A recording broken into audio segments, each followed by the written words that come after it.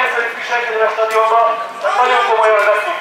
Akinek, aki kap büntetést, aránytalanul túlzónak tartja, neki igyekszünk segíteni, akár ügyvédi kapcsolattal, akár pedig gyűjtéssel, ezt a stadionban szervezzük meg.